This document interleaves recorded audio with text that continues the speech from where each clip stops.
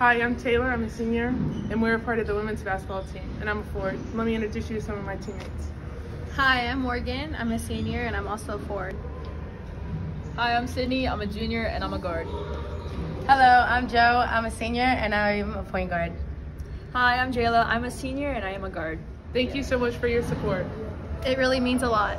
Thank you for elevating our player experience. And remember, together we all add up.